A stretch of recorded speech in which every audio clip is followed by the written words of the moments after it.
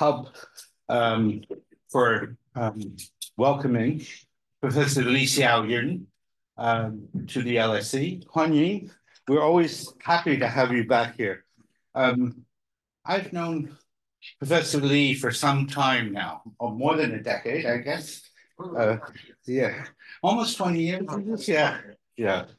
And um, he's a really important figure in the evolving development of the study of development in China. I mean, a lot of a lot of you as students or as researchers, you know, are looking at China and what what its own development experience has been.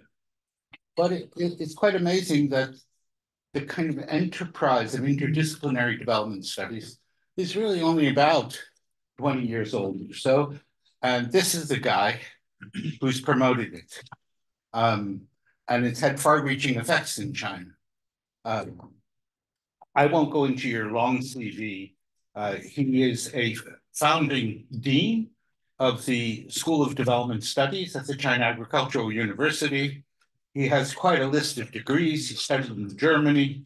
Uh, Xiaoyun, Professor Li has uh, extensive experience doing research in China, uh, and I mean in Africa, as well as in China. Uh, and so his history goes back, particularly in Tanzania, quite a long time. He knows that he knows those who have been attempting to pursue uh, a kind of catch-up development in Tanzania. But over the last 10 years or so, um, Professor Lee's been deeply involved in what is known as the, the Rural Revitalization Program in China, in work in the rural villages of Yunnan. And I visited some time ago one of those projects at its very early stage. Um, this work has been leading him to rethink a lot of what we have to say about development. And particularly when we think about rural development, to see what, what a lot of us have come to understand even by re-looking at our own histories here, that the processes of industrialization and rural development and agricultural development, historically, they have really been simultaneous rather than sequential. And in China, this is um, an observation, one of the many that Professor Li is coming up with in his new work. But I'm not going to tell people what you're saying and instead allow you to tell them. So, Thank you. 欢迎新年好 to everybody. You know, this is a good moment, auspicious moment for a seminar. Thank you. Uh, thank you. Very much, James. Uh, it's my great pleasure to be back uh, the school and also uh, thanks for Professor Meng uh, for organizing this for me and also for the for the LSE Fudan public, Global Public Policy Public Policy Hub, if I understand correctly. And uh, and also, uh, I'd like to take this opportunity to to wish you all the best uh, for Chinese New Year. And uh, I'm extremely grateful uh, after quite some time, three, four years, uh, back to this uh, discussion uh, with the uh, students, with the professors, and also thanks for Gu Jing for coming from IDS and a senior research fellow from IDS and others, and uh, no name I don't know. And also the, even I'm very grateful for the, my student uh, invite his parents, father and mother here, and I feel extremely uh, grateful for that, and also my student, my assistant uh, here.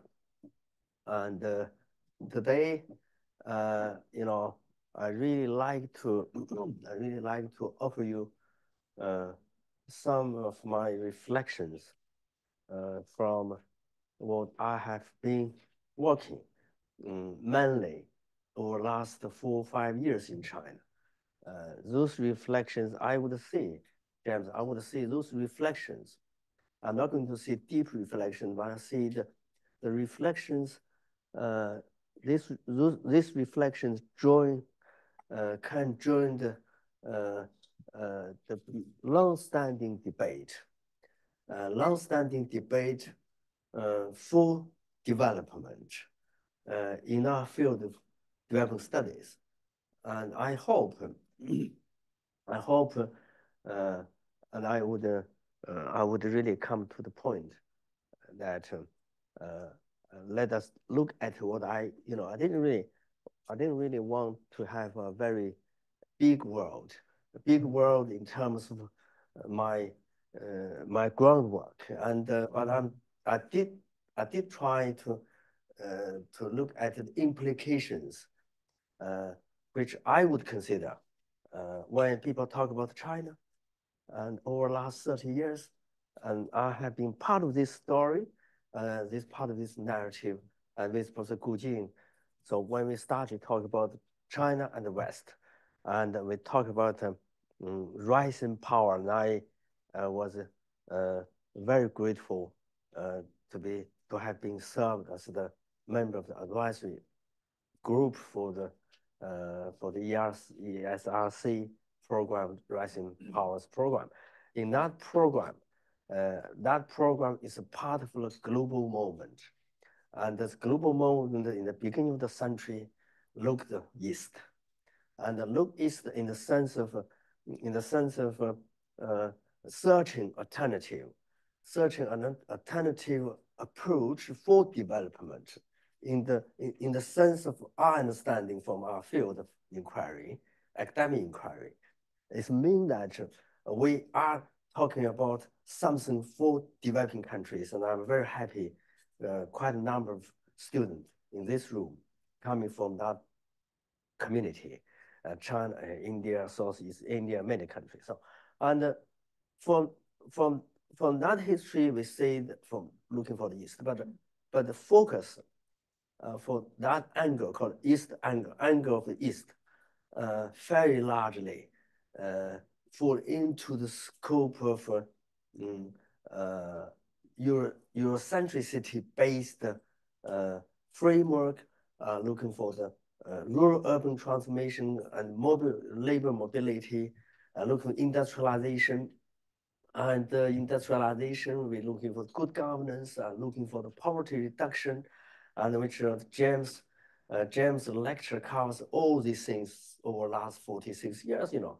These are the ways and, uh, and the global focus uh, also started to, uh, to, to follow that paradigm to observe and to dig, to explore and to dig out called Element of China's Experiences. So that was something which, uh, which what I call a narrative, is the narrative of China's experiences in terms of poverty reduction. And, and people still, people still, still, people still perceive that, that experiences in the sense of a orthodox understanding.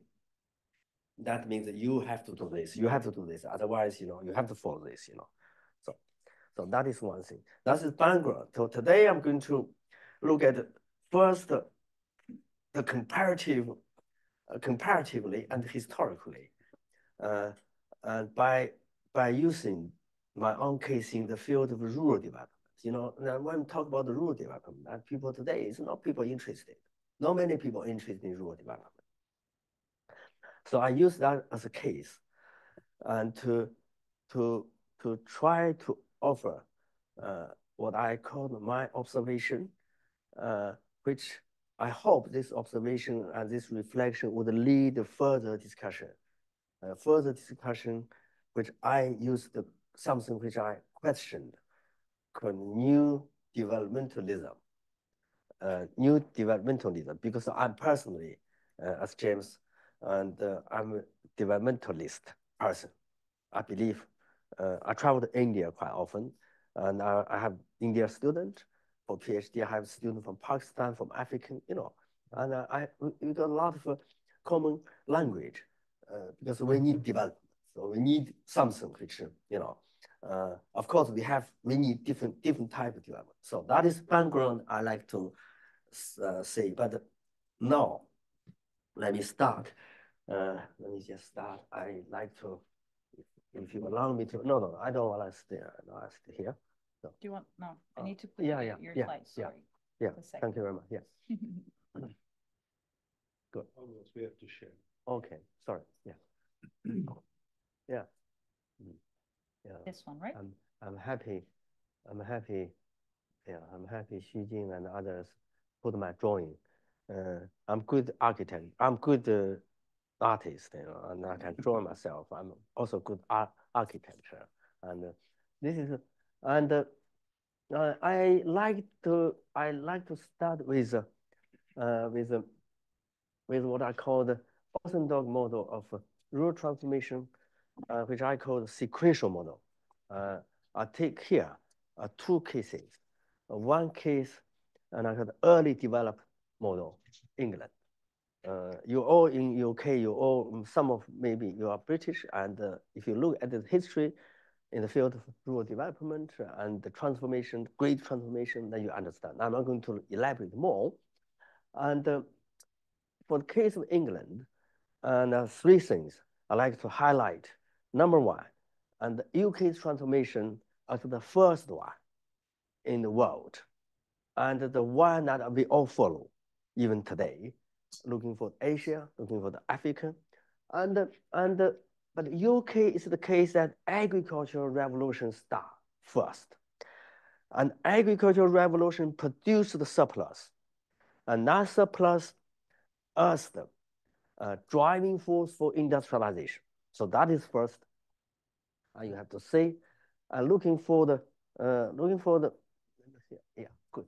Looking for this and greatly agriculture, but the agriculture, you know, agricultural uh, revolution includes two things. And one is the land enclosure. Land enclosure, of course, today, if we take land, land enclosure, and we, we have to take a very critical view on that. But the land enclosure uh, created opportunity for, for agricultural economy scale effect. That means large, middle and large size farmers increase. So this is one area. And the second one is for the technological improvement. And that means that for the crop and crop and the forage rotation started. And everybody knows that in UK, uh, you have this turnip. You plant turnip, and you plant turnip time by time, and the soil fertility is reduced, and the yield is reduced. So you grew barley, other things like this, and then, and then started grow, uh, started grow clover. Uh, it's it's the it's the uh, it's clover, and uh, now you have the clover and the crops, means the crop and the forage, crop and the forage rotation system, which improved hugely for the for the soil fertility and also for the crop production as well for the uh, livestock production. So this is these things, you know, and already started in 17th century, end of 17th century, mid of 17th century, so agricultural revolution. And the second one, I would say the agricultural revolution uh, and induced the change of structure of economy. So that is first one, the second one. So looking for. But I'd like to draw your attention uh, the one that uh, those process when I'm talking about quickly lasted almost 200 years, almost 200 years. So looking for the data, transformation data, and uh, end up of the 19th century and the 20th, beginning of 20th century, and both share of agricultural GDP and the share of labor force, agricultural labor force, two indicators, and dropped already down to the 10% in the beginning of 20th century. This means start from 18th century to the 20th century, the 200 years, UK realized completely so-called today we are all pursuing ourselves called modernization. So this is something, but one thing we need to keep in mind that looking for this graph here. So for all agricultural output improvement over almost, almost uh, 150 years or 200 years, farmers' income had not been increased, had, had not been improved for over 150 years.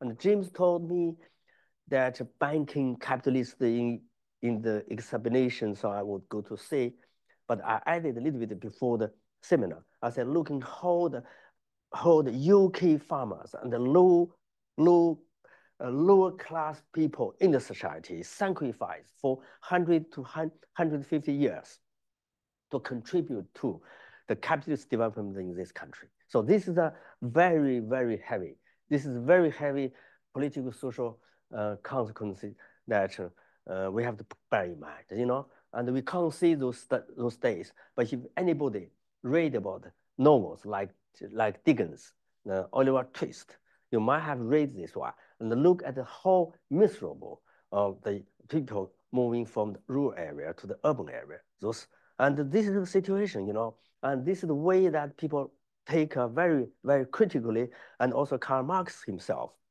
criticized uh, capital system. So this one case I like to elaborate. Sorry, uh, no, sorry. Okay, yeah. Uh, oh, sorry. Second one, I look for Japan. very similar, and Japan is very similar. I saw the uh, in the case of Japan, it's like orthodox like the model, and uh, it's very a little bit, you know, in in the complete, in the almost very similar, very similar and Japan's case is like uh, when they started agricultural uh, revolution. The start agricultural revolution at the same time for industrialization. It's different from, a little bit different from UK wave four. And Japan started. So Japan stand between China and UK. This is what I say, between China and UK in terms of the model and experiences. This is and, and Japan. And the second one Japan in the good in the good way is that agriculture, the, the capital surplus generated in the agriculture sector and had been used uh, for immediately for rural, industri rural industrialization, the people rural, the light industry, and for the people out. You know, see the transformation and this transformation. But the same, the Japan suffered. Japan suffered uh, very similar, very similar as was the UK earlier. Only, only issue is that the time is quite condensed. It's time quite pressed. It's not longer and it's, it's shorter than what India and what England did. So these two, and uh, very quickly, I like to reflect uh, those two from those two cases, and that uh, agricultural revolution, agricultural revolution, and uh, provide this, you know, provide the material, everything. This is very conventional. This very conventional orthodox approach. And we all talk about today, still talk about today. And an impact of agricultural revolution, food poverty has been lacked. It's both India, uh, both uh, England and uh, and Japan, both. And um, so that is the what I said. That is India and Japan. This lagged almost like half half 50 years, half century, the UK is 150 to 20 years.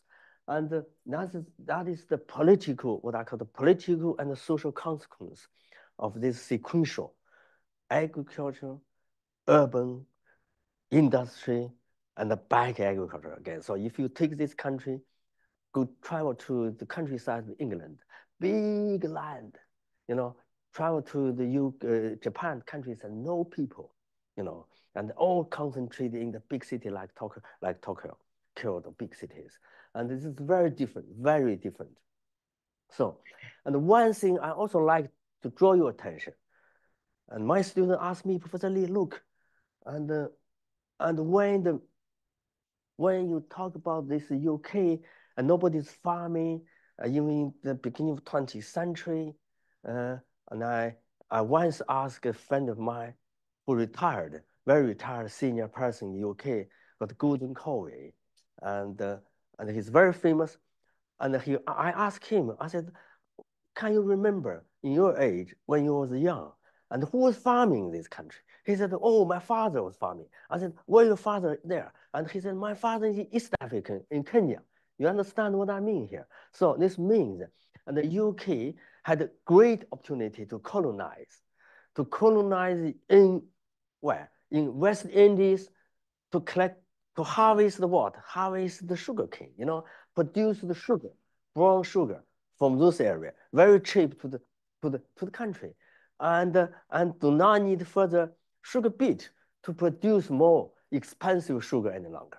And of course, India had a long colonial history in, in India, Bengal, and all these areas where they get all this rice, you know, long rice from India. So these are cheaper. So colonial colonization helped uh, UK, also partly Japan, you know, and Japan also had, you know, to to to provide this material, to provide these things, uh, to to to to to be used to compensate, to compensate the gap uh, when they had in terms of supply. So we today, you know, this cannot be, you know, this cannot be replicated by any developing country today, like China.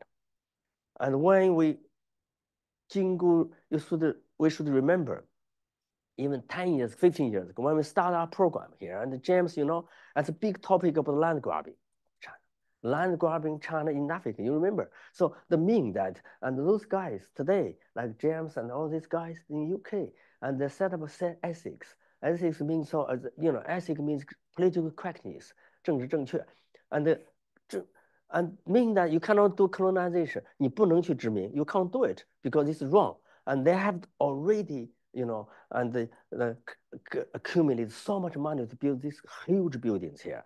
And that's the only stop. No, you can't do it when China was in Africa for agriculture, and all students here, and all students here in LSE, they're all interested, write about China in Africa. So the narrative of China-African war mean, means China, you should not do like this, should not very careful, land grabbing. So we, we can't do anything like this. You know, this is mean, this is a very different situation now for the agriculture, for the rural development, for the transformation, okay?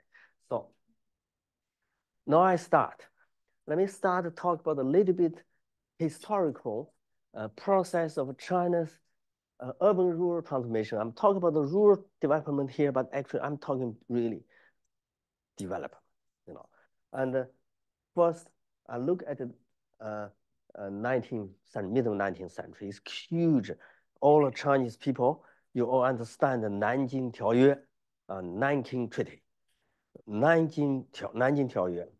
The Nanking Treaty is the, is the, the is the, uh, uh, is the time when the British opened China. Okay, and so we start Chinese people.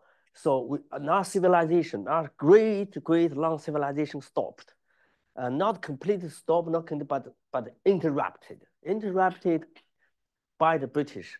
Uh, by the British uh, that uh, we are, because we failed to defeat the British in the first Opium War, and uh, and our door open, and um, in the first for four cities, uh, four cities, first four cities. I I show you here here the four cities here and all cities, and uh, when they open our poor cities, and uh, mm, and uh, and all business people coming and uh, you know and the cheap things, uh, textiles, everything, you know, uh, uh, dumped in China. 倾销 dumping China, and uh, which created uh, the isolated, um, isolated, uh, self-contained uh, natural system, 自然经济 is isolated 自然经济 around the most fertile and and and developed regions, southern part of China. So that means like Zhejiang, Jiangsu. This is this is the way and that destroyed our textile and handmade textile sector and everything. So this is very similar. This is very similar like British with India and India, India peninsula. So this is something. And also secondly,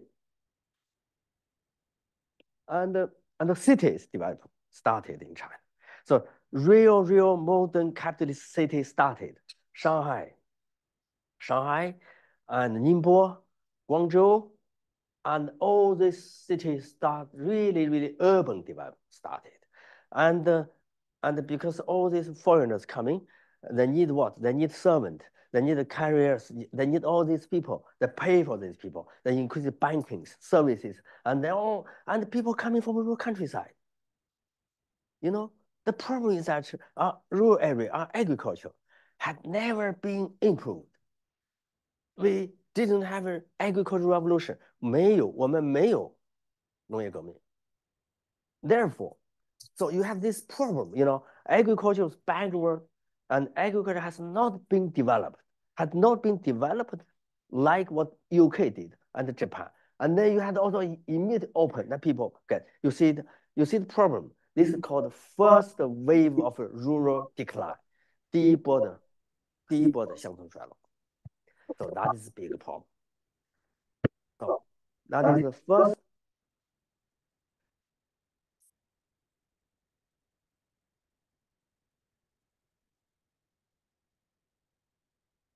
second stage, a drop into 1949 to 1978. So China, Republic, People's Republic of China started, okay, very important. Now,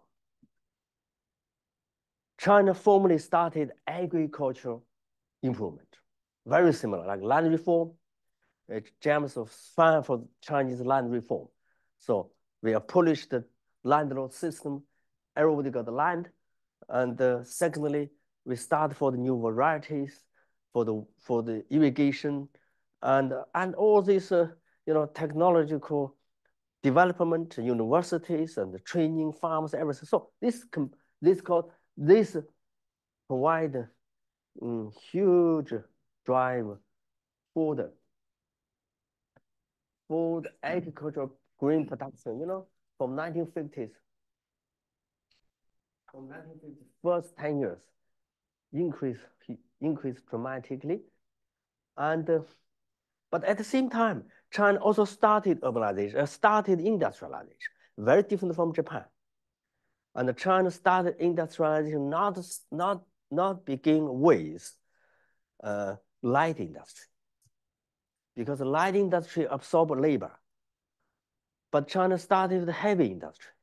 But the heavy industry absorb money, capital, but exclude labor. So the rural people had to stay in the rural area, and the money drove out of the rural area. And the money drove rural area put into the heavy industry. Okay.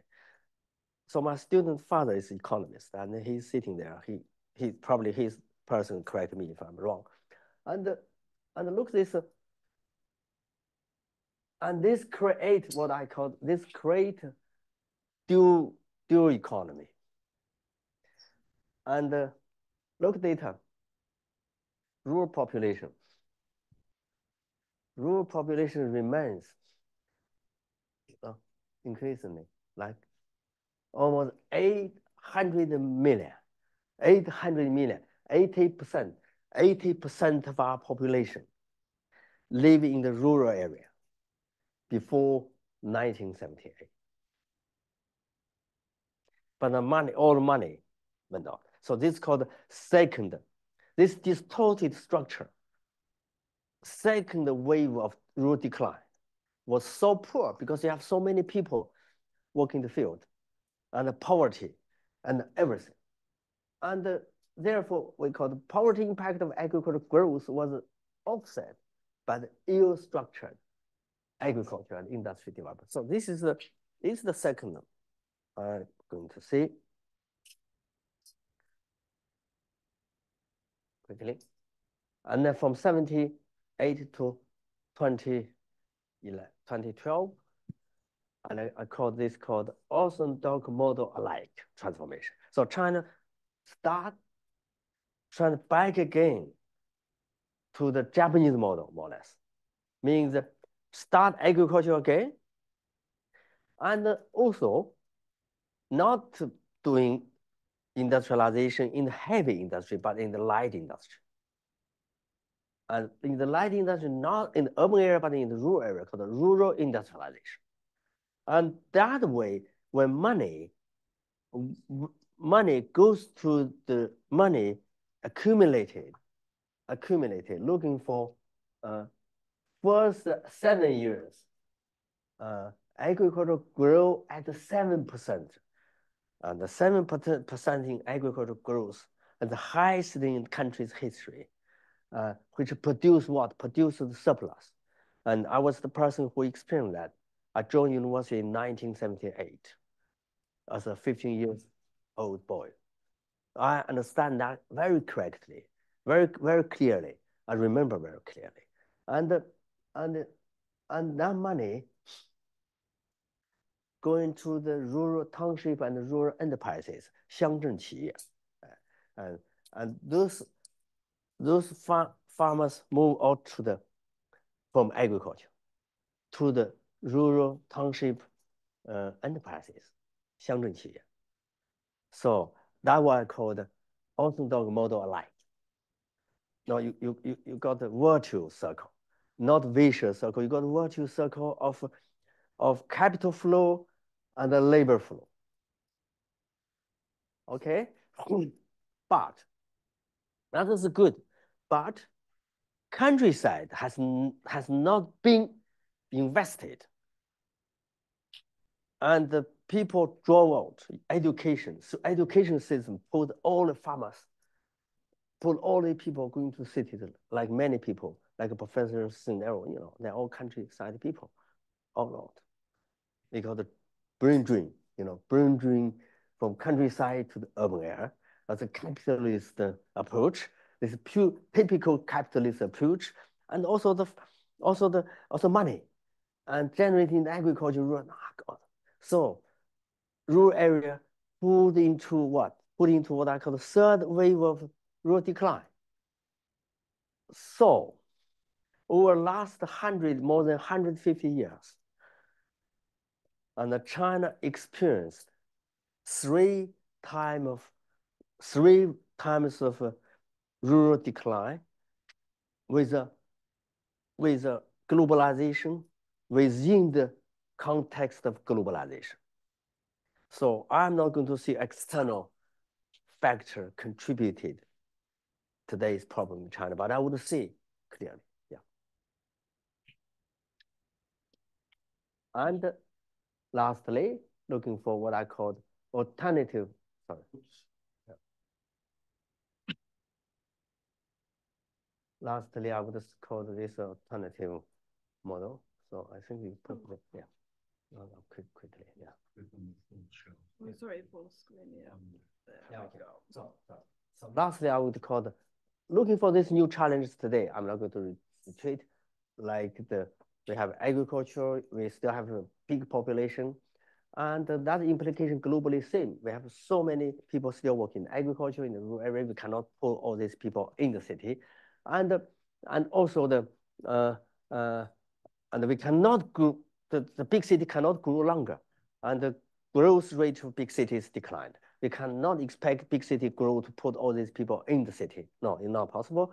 And, and, and increase the cost for, for urban uh, development to accommodate people coming. You know, this is very, a lot of agricultural aging problems and many, many challenges, new challenge. So we have to see today, looking at all this my village, what I did myself. This all our village I'm building in China. So checking the internet, you see all my work and you see the opportunity. Today's, I'm going to, I'm going to emphasize today's very different situation. First one, with the rural urban transformation, that value of the rural area increased. Uh, rural area is no longer the place that people ignore, but the, the rural area is the area where people like to go back now because they feel the values, they feel the interest. And this is, this is very different from uh, UK, uh, UK those time and also Japan. And no, people are going just completely. Now this also with the land, land tenure issue. Big land there, and they're private, they're fenced. You cannot go there doing anything. You can't do it like this, you know, this land tenure. So you see, and also I see also India or many countries, and uh, and also for the opportunity like, um, and the people like doing this, uh, you know, uh, uh, uh available for this uh, land and other resources, and even for the technology today. You see how this internet technology and uh, digitalization, digital technology can reduce tremendously the problems which we've been working uh, to overcome the cost for the market cost, everything. So the, the people and and farmer can can use this, uh, you know, can use this, reduce the access market, everything. So today's situation is very different. That uh, which I'm going to argue, uh, I'm going to argue this is the village I'm going to work, and the new development model I'm going to say uh, that number one, that we can create new economic structure in the rural area. And that is something which different, this different from that we, we just left agriculture for, for base for surpluses, for the base for services. No, no, no, Ag, rural area is the a very active area where we should use as a new economy. So looking for the, smart agriculture, digital farms, all everything. So we've been working ourselves and creating new rural econ economic integration, first, the second, uh, and even the service sector. These are the very different scenario, looking for exercise practice in China. And uh, also, and we have to change, we can change those poor farmers, you know, uh, no longer put this farm back to the, uh, go to the urban area, but to, to really, really turn that into a new farm. You know, the really modern farm, modern small farm. Those are all possible. Mm, I look, I want to show some cases where uh, Xu Jing and I, we, I working in the called Poor People for Seven Hectares program. You see, this poor area is not rich area. It's close to Myanmar border.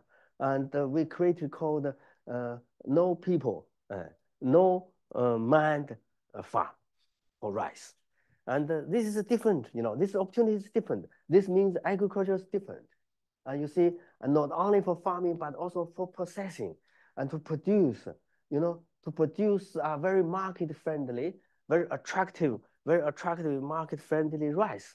And the prices increased. So this opportunity never existed in 19 in in 19th century, in 20, beginning of 20th century, the UK or 1950s in, in, in Japan.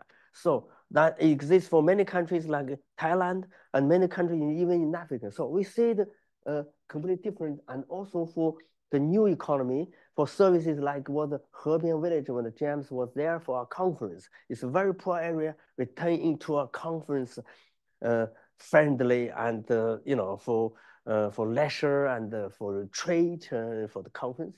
And and you see this is the village. Uh, you cannot imagine this uh, left behind lady, young lady. We we built a very nice village recently, and in the Yunnan, you see uh, this called New Farm. No, she is the manager of the coffee shop. And this is the, in the poor area. Please check with the called Damiaozhai, mm, Damiaozhai, and the Chinese people come. And we are doing this called rural CEO. And this is very new that the young people put into CEO. So we have also the public service, uh, infrastructure development, and the ecological way. So, and, uh, and also rural government. So I'm going to lastly to see development model, thinking from rural development perspective. Sequential model is always the model that dominates all this. And, uh, and there we're going to argue that um, parallel model. Parallel model is possible that rural modernization can be advanced while industrialization and urbanization are still ongoing. This is the key. Not to wait until the time we back to the rural area, but we go parallelly. Therefore, this no longer as a plan. It's no longer as anything designed by the World Bank and nothing designed by the World Bank, by the OECD, by the US Agency for International Development, by the DFID, now called for Office for, for the Office for Forest, for, for Affairs and Development.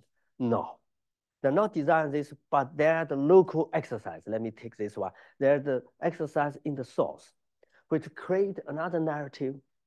And I call that narrative to challenge our mainstream understanding of development and also to challenge our theoretical understanding, which all scholarship produced uh, to help developing country. So let us see and how this story this narrative in China, elsewhere in China, and can actually tell us more about uh, our development study. So, and uh, I stop here and, you know, thank you very much for your attention.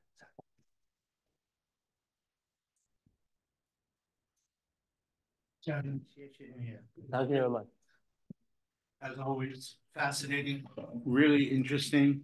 And we have uh, a half hour in which we can have some discussion. And this is what LSE is known for, coming challenging speakers. So I expect you, especially my students who are here, but I expect you all to challenge us. You come up with your questions. I mean, one thing that I I would just want to comment on, and that's that, you know, even in the West, the over the past 20 years, economic historians have reevaluated the sequential story. There was a, a lot of synergy between what happened in the Industrial Revolution and agricultural change, rather than just a, a story of sequence, which I think strengthens your argument because you can see the roots of this, despite whatever was the kind of generalized picture that was portrayed, that for for for um, the kind of accelerated development that occurred over much longer period of time. And historically, there was already an important synergy between the two sectors. So, and the other comment I would just make is that um, this fascinating story about what's happened in China, the one graph that's not there, which is important to keep in mind, is the huge um, advance in land productivity. So when you compare China's productivity of land, um, already that was achieved after land reform and during up to 1978, but then it was accelerated. So there's very highly productive uh, use of the land, comparatively speaking. The, you know, whether you, when you talk about the, the grain crop still, or still overpopulated. Yeah, yeah. So Surplus labor in a very big way we we have now the Arthur Lewis building over here, Yeah. and and you know this, this is what this is what um, Arthur Lewis, you know, uh, modeled and called for is being able to mobilize productively all this rural labor. But anyway, so this is a a very interesting story. It poses some very controversial questions. You know, what's happening to to to the countryside? Should there be, you know, an agglomeration of land or and and and and, and the small scale farming obliterated? Or is there some uh, median in between? But I think the big story you're talking about and that you've seen in your villages has to do with the diversification of, of, of employment and wealth making, et cetera, in the, in the Chinese rural areas.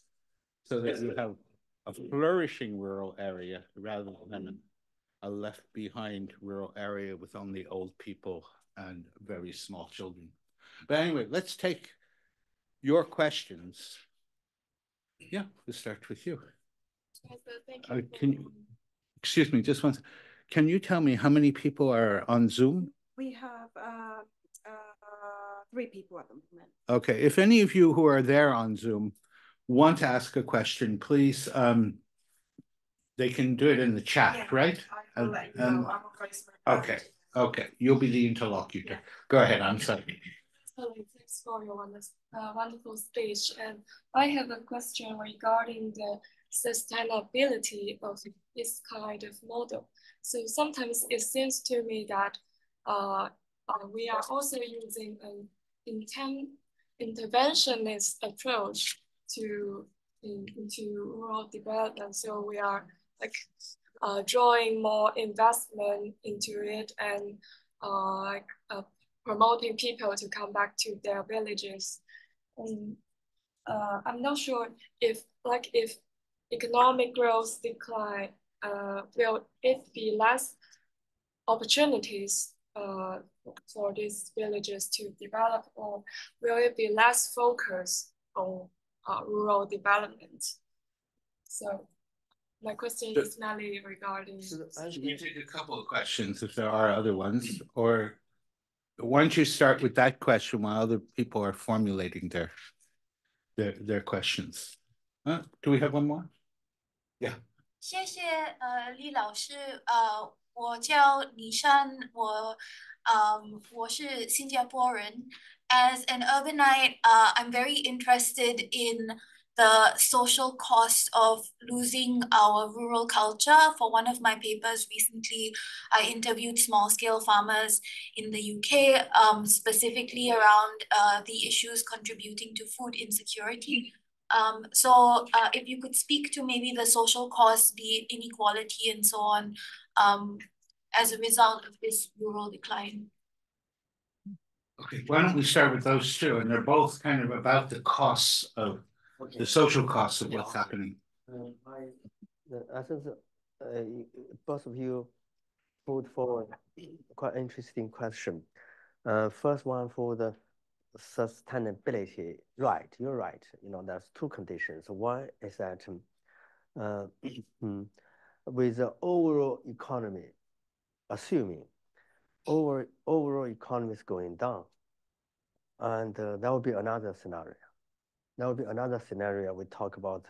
This means that when globalization is really break breakdown, that will be different scenario when student, how many students will come to the SE to study. So this is the, another scenario. I'm not going to touch that one. But second scenario, second issue, second, secondly, you, you with your question is that sustainability must be based on what I call the, uh, what we have to not to not to rely on the external investment, and this will not last longer. Uh, whether you have a very good economy or not good economy, and this depends on what I call the, you have to create, um, and you have to create a new structure. New structure means it's, it's rooted, embedded, it's rooted in the rural area. It's not something which you make yourself but, but also you have to make the farmer centered, what I call the participatory economy. It's very important. And the participatory economy uh, is more, uh, is, is the more sustainable than the capitalist uh, economy. And the failure of uh, what you talk about in many cases in China is that when the, when the business people, they invested, when there's no market, they're gone and they left nothing there. So we are not talking, we're not doing this one in China. We mostly we're doing what I call farmer-centered, farmer participatory. When farmer then make this, make, make this one, small small holders. The smallholder makes this one for their livelihood strategy, not for the rational strategy. Of course, they will do something rationally. You know, they're doing something rational, like you're doing rationally, but what's basically you are doing survival you're doing your survival. This is a very different approach when you please read about these books. So we are trying to, and we are trying to, we are trying to advocate, we call the, uh, is, uh, we call the essentially to promote livelihood-based approach by using rational way, meaning that you go to market, link with market called rational, but you not you, you are not making completely full money, you know complete format never be very fragile and very fragile. So this is one very good question. For the, for the social value, you're right. Root decline certainly leads to completely despairing of anything, which we, as the people, we are rooted generation by generation. So we, from that, from that angle, uh, we need to look at rural development today uh, not only from economic angle, but we have to put four angles here economically, because if we don't have a new economy, then people will not come back to rural area. Uh, people will leave rural area for urban area. So that's first. Secondly, we need we need we need a rural area uh, uh, socially uh, viable uh, that attract people coming. So we need to maintain our uh, uh, rural value. And that is second dimension for this. And the third dimension is, is that the rural area always occupies large area of the territory anywhere, in UK, in China, anywhere. Therefore, rural area serves, serves as the, as the way for our ecological, ecological values. Rivers, forests, wood, so, there, lastly, very importantly, I would say the rural area serves for a new type of structure politically. And we neglected all our political, why our political system today has a lot of problems? Because they are rich people based, because they are business people driven, because they are all do dominated by these intellectuals, like you me. So rural is different. They have different politics. And that one is more sustainable for society. So we have, we're not, I'm not going to back to, I'm not going to talk about this called rural, ruralist, extreme, fundamental, extreme, fundamental ruralist. But I'm talking very um, modest way uh, to see rural, what are today, rural area, rurality, and ruralism, ruralism, new ruralism, uh, with those four functions, four dimension, dimensions. Okay, so. Yes, and then you. Hi, uh, first of all, thank you for today's amazing uh, panel. And my question is regarding the Chinese uh, population registration system, 户籍制. Yeah, because it seems like one of the key variables to impact the rural urban issue in China is the Huziju. And uh, it seems that nowadays the Chinese Communist Party top leadership is discussing about the flexibility of rele releasing some like uh, releasing some flexibility on this issue on the registration system. And when we're talking about people start flew from rural to urban area nowadays. So I'm wondering if there's an volatility and shift on registration systems will impact onto this topic. Okay, so that's one question about the hukou and uh, and the the the obligatory res, um, uh, registration in urban and rural areas, which is changing quite rapidly. And another. Question is very short. So it's about how are these projects being financed, and like who, who's providing the initial capital for these projects, and what uh, role is playing the state right now. Okay, so I'm repeating because, you know, people are listening on Zoom and recording. So, so how is this all being financed is the second question. Go ahead. Okay. Uh, uh, your question for the for the hukou. Uh, the, for the hukou, I think first, uh, this is going to be it has been changed and this is going to continue being changed, and uh, rural people now do not like to to, to, to give up rural hukou any longer because they want to hold their land and their property. So that, that is new dynamic. And uh, secondly, that's the real difficulty. It's not for the hukou itself, but it's for the public service provision. And the public service provision means the quality of education. Uh, you move in Beijing, but you cannot access the best schools. Your kids, you can send up, you cannot send your school you, you cannot send your kids to the best school in Beijing. So that prohibit hugely. Otherwise, in the middle city, middle-sized cities, small cities, it's open now. It's open. You can easily do it. So this is a very different scenario situation. But that problem, I, that problem derives from what I was talking about, this distorted rural-urban long-term process and everything. So this is the problem. This is called problem, how we are dealing with this rural-urban transformation. Therefore, we want to have new rural area where we have an equally important, equally important education, equally important, equally uh, important edu edu infrastructure, everything. So that is uh, back to your question that they call the national program for rural revitalization. And uh, doing this program, we have various sub-programs like number one, to improve rural services program, to improve rural um, rural infrastructure program and 厕所革命，毕竟厕所革命咋说？Yeah, toilet revolution program. You see, and account one house by one household, you have you won't have a, toilet, and they're all financed by the state.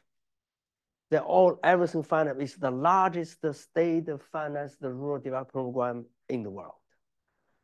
And it started early stage by, by the rural, by the poverty reduction program, which I personally advised nationwide, and continues linked to the rural revitalization program.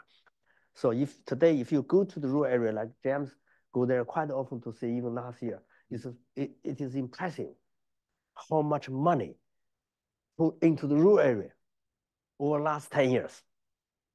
So this is by fact. I'm not going to give you any, any assessment whether it's good or the bad, but I'm just take this to see how much money is spent on this one. So this is the program. So the program I'm working, 37, 35, 37 villages in Yunnan, that are listed here, and all financed by the state. not all financed by the provincial government, not by state, but the provincial government. And uh, you cannot imagine how much money we spend. This is the way I did not speak today that uh, and the role of the state in linking, in linking that rural urban program. I was recently in Bangkok, and last year I had many times in India, my, you know, my friend country, India. I got a lot of, a lot of compare, comparisons on this aspect. So this is the area, you know. Yeah. I'm wondering, could could you, if I can jump in, because I see lots of hands going, could you tell us a little bit more about the way in which concerns for the environment are being taken into account in the rural revitalization program because obviously we know that agriculture is one of the biggest greenhouse gas emitters. We know that there's big energy requirements in the countryside. And so how, how is how is that evolving? And uh, uh, mm, i uh, let me just uh, give you my own observation. For last 10 years, the political agenda, there are two elements within current political leadership. Uh, one dimension is what I call helping poor. In putting money to help poverty of these people. This is one area. And uh, Xi Jinping and his government made a lot of investment. Second one called green development. And green development means that this huge program ongoing to protect the environment. And you can also see uh, uh, rivers, uh, forestry, everything is strictly, very strictly. And uh, Bafeng, my, my colleagues Bafeng, we both convent the paper. I think the Bafeng, you, you send this paper to James to look how the elephant issue in our village because of the heavily protected program, you know, element comes, a new group element comes. So our nature, you know, preserve our nature environment. And this means it's very difficult, you know, it's very difficult to, to, uh, to, to really uh, uh, develop this uh, fertilizer polluted uh, agriculture any longer. It's difficult. That's why you see the many areas where they have stopped completely this heavily polluted program, they are using a lot of called digital, not digital, smart agriculture, and install all different uh, equipment to monitor water nutrient requirement. Mm -hmm. And those are the new things what I talk about. Technology, technology improvement is very different before. So this provides new opportunities for developing country to catch up, not follow, not catch up, to, to drop out, drop from previous stage into a new situation, not just the catch up, catch up. You are in the front, I'm always follow you. No, it's going very differently like this. And even for the African and for other countries, you know, for Brazil, I was in Brazil, also I observed very similar, very similar situation and other countries, yeah. Yes, one here and then one back there. Thank you for your speech. So you mentioned in your speech that the colonization ought to be uh, duplicated in the developed countries, but uh, many people in the West nowadays are uh, regarding China's engagement in the Africa as neocolonialism. And because as a Chinese student, I'm facing those questions uh, like every day, and I would like to know how would you respond to it? So that's a good question on what, to what extent is there neo-colonialism in China's relationships and investments in Africa? In the back, so just take two questions. Thank you so much, Professor Li. When I was in China, I ever read your book, which named by the end of poverty, 贫困的终结. And I'm really curious about your opinion on the topic of pension system. Uh, let me take an example. If a person uh, who was a farmer, he can only get like around 100 RMB, as he's mentioned. But if one person work for the, the cigarette, the, state-owned uh, cigarette factory, actually he can get over uh, 5,000 or even over 10,000 as his pension. So the gap is really huge. A really important question about the the uh, low level, low opportunity for for for livable pension uh, income in the countryside. Um, okay, okay. What? Let me take another question because we make sure you get students question uh, because when I study in COHD, I, I had a, a lecture by a professor in sociology department. The professor said, uh, even the farmers in China, they earn very little money every day. But if they invest their money or if they enter the factory, they may have like some problem like unemployment, like they may experience some bankrupt. But if they only invest their money on their own land, they never like have some issues like bankrupt. So I think it's a following question about the student question. How can we balance this? You were you were giving you were giving the talk by this populist professor, right? Sorry for this. Yeah. Uh, let me just uh, respond three questions. Yeah. So do you study development study here? I'm sorry. Yeah, What subject? I, I, I studied the political economy of China and Europe. Okay, political economy of China and Europe. So what is that program? out of the European European Institute. European yes. Institute. yes. To that program. Yeah. Very political program. Yeah. Very, be careful, be careful. Sorry. Uh, and I think the basically, let me put this way. Mm. As I said, look, what does means colonization? So you have to, you have to have a very clear definition. And uh, when you're going to invest in, when the Western company like Siemens, Bosch, uh, JP Morgan, they all invest in China. I don't think these people colonize China. I don't think so. It's very different.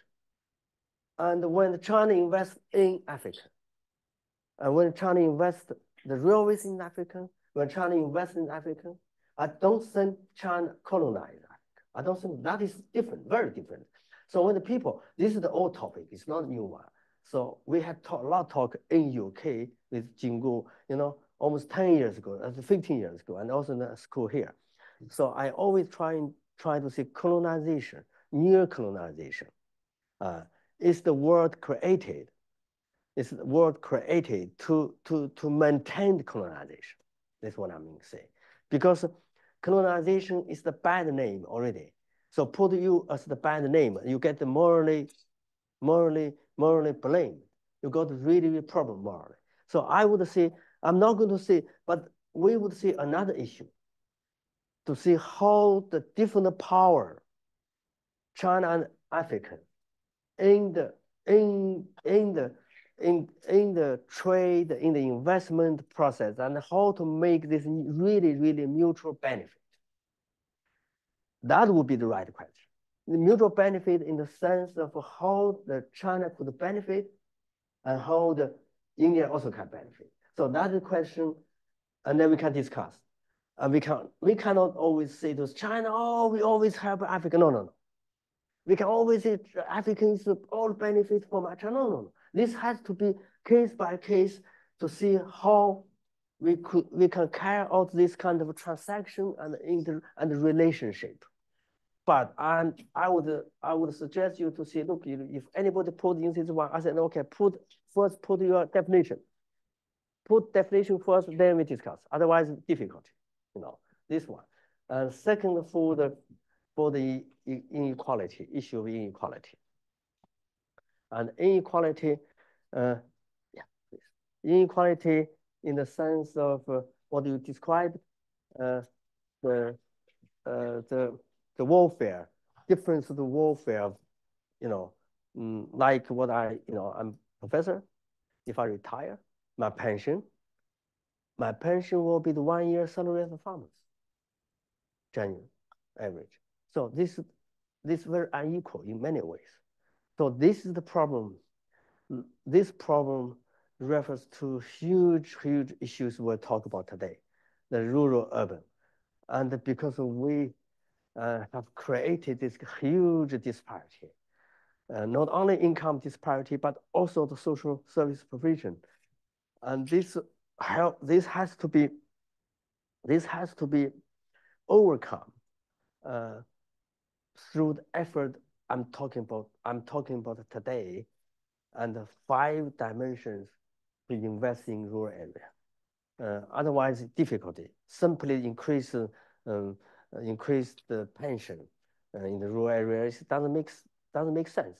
Secondly, and the rural people and urban people are different. Urban people are employed, and the rural people have their property. You know, they have their land um, and the house, everything property, so they are secured somehow.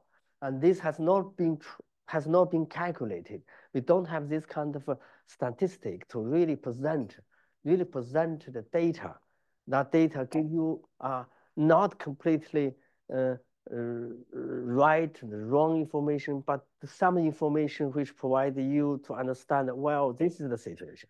So if you look for the EU, uh, OECD statistics, it's very different. So uh, we have tried, because I advised 10 years ago, our national statistic program. So I understand that. You know, we try to learn OECD statistics, try to make comparisons, very different. So don't use data itself from UK, uh, from Germany, from United States, from China to make any comparison. Doesn't make any sense because uh, the fundamental calculation is very different, you know, and inclusion of all kind of indi indicators, parameters also very different. And for even for the rural income and, you know, for the rural productivity, I got a lot of problems for that. You know, it's very difficult. Therefore, I go case by case.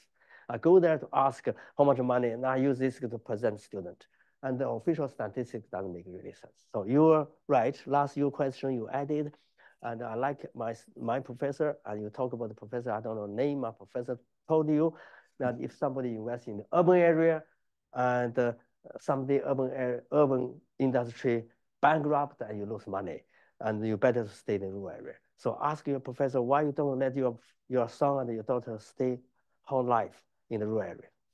Ask this question. yeah. Okay, we have time for just maybe if, if you brief questions and brief answer before we have to wrap it up. So first, first you and then. Uh, thanks a lot for your uh, seminar. Um, about the new structural development, uh, I was wondering about the proposal of a supply demand product services challenges. Um, so for example, how to narrow the gap between the new added value products like the rice no-man farm, as you mentioned, or like the get rooms, in a context of a low demand market. And I have worked in other development countries, and this is the main issue that we have. And what's your perspective of a public policy to support like a national market or maybe even an incentivize a global trade um, of actual national examples or academic proposals of this, um, you know, to narrow this um, demand supply. Yeah, Okay, yeah. Uh, my question is short. So do you think um, Chinese social policy is already having this shifting paradigm towards enabling this sort of participatory model that you were maybe because there is such thing called uh, China's new work cooperative contracts. Do you think that's kind of already enabling this? It's the question about social policy and that. Yeah. Uh, very good. So why don't you take those two and I think Okay, one last question, briefly. So yeah, thank you, thank you for the opportunity.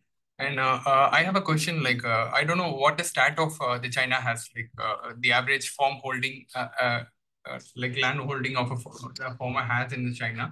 So if that is uh, very small, so what uh, what the government is doing for the stakes of the uh, to be more inclusive to include the small farmers into the into the transformation of the rural rural development program and uh, in, in continuation with that, I, I want to hear from you that uh, the digital unmanned collective farming. So your thoughts on that and how is that going to be beneficial to the society or it, it adds more complexity to the uh, to the rural transformation program. Okay, so there's a question about smallholders and what prospects there are. You have five, four minutes to wrap yeah, up. Okay, to uh, very quickly for the yeah. uh, I think there are two level of issues. You're right. You know, uh, what I was talking about rural development and emphasize the importance of the development itself does not mean that we should ignore, we should ignore, we should ignore or we should really, really put down the urbanization and the industrialization. That is what I'm trying to say. This should be integrated, not separated. Therefore, and uh, the transformation still require a proper level of industrialization and urbanization. And without that one, economically, it's not possible. Economically, it's not possible. Uh, therefore, somehow the capitalist itself still works in that aspect. And the second level, this means second level, we do need consider, we do need consider at the global level. For many, many developing countries, and uh, they cannot wait for their urban area and the industrial sector grows to the level that to provide drive for the urban rural areas. Therefore, we need another level of, uh, we need look for the, uh, for, for the global, uh, globalization aspect. So therefore, you know, I would say, uh, I would say that, um, and social policy, and uh, I personally do not consider we have systematic way of shift uh, from this to that, but you can see the tendency politically, you can see the tendency and uh, people-centered program, we emphasize very differently from before Uh, we are, I'm not going to say we're moving uh, from past of, but we are, we are somehow moving into the area where uh, away from this cooperative policies in the, from, from the before. And lastly, uh, for the land issue for smallholder, you're right. So we have called 土地流转. We have called land mobility program. Uh, allows you to rent your land to him and, and if you don't like, but you cannot sell. You cannot sell means that you have your property for your life uh, unless you cannot make your living in the urban area. You come back to the rural area, you can still live. So that is the basic basic social security for the small farmers, but at least to increase, in order to increase, improve small farmers' productivity and efficiency, and the cooperative is organized that you are the member of cooperative and you can access uh, market uh, by having a large scale of operation as we did this one, uh, that, land still belong to you. So this is the arrangement for this. Yeah. I think that we were really privileged to have the chance of of Professor Li passing through London, coming back to the LSE. So we should all all thank him for such an enlightenment.